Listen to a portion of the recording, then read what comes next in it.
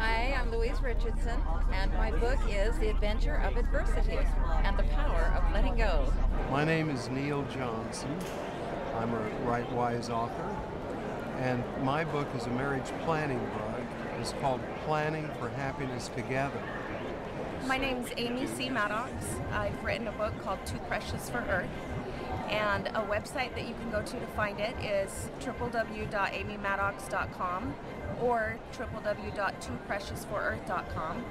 And the book is uh, really about the life and loss of my son. It's an inspirational memoir about how you can actually make a great life after the loss of a child. Such a tragedy in someone's life is is really a trial to go through. And reading this book not only helps you heal, but it reads like a novel. So it's a great read along with it. Suzanne Mathis McQueen.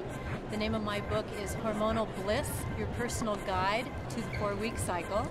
My name is Allison Moore Smith, and the title of my book is The Seven Success Habits of Homeschoolers.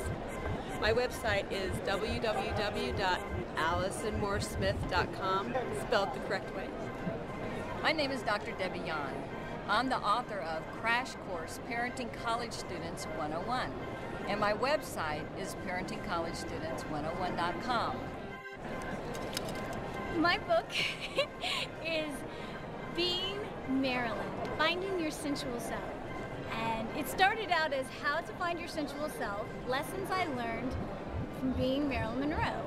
This book is about, I'm a Marilyn Monroe impersonator. I've been impersonating Marilyn for 18 years now. Wow. And all these women always come up to me and they're like, I want to be like you. so I was like, I need to write a book and help women find the Marilyn within.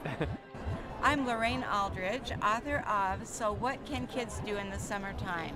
Did you know that even a four-year-old can string Froot Loops for one to two hours in a car and then eat them for another up to another hour. That is three hours that you can um, entertain your kids in a car. And this book has many other activities for summer, summertime fun.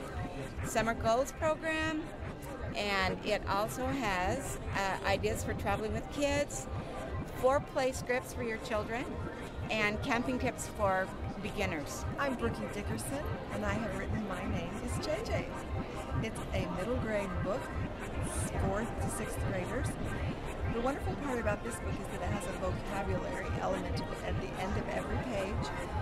Every chapter, there is a vocabulary word, a word for the day. And at the end of the book, there's a glossary of vocabulary words that a teacher directed read can benefit from as well as a student read.